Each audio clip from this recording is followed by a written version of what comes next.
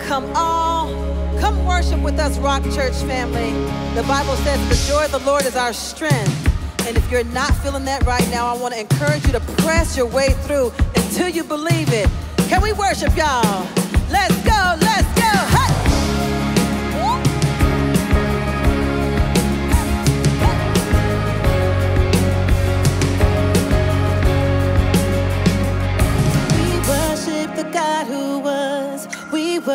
the God who is. We worship the God who evermore will be.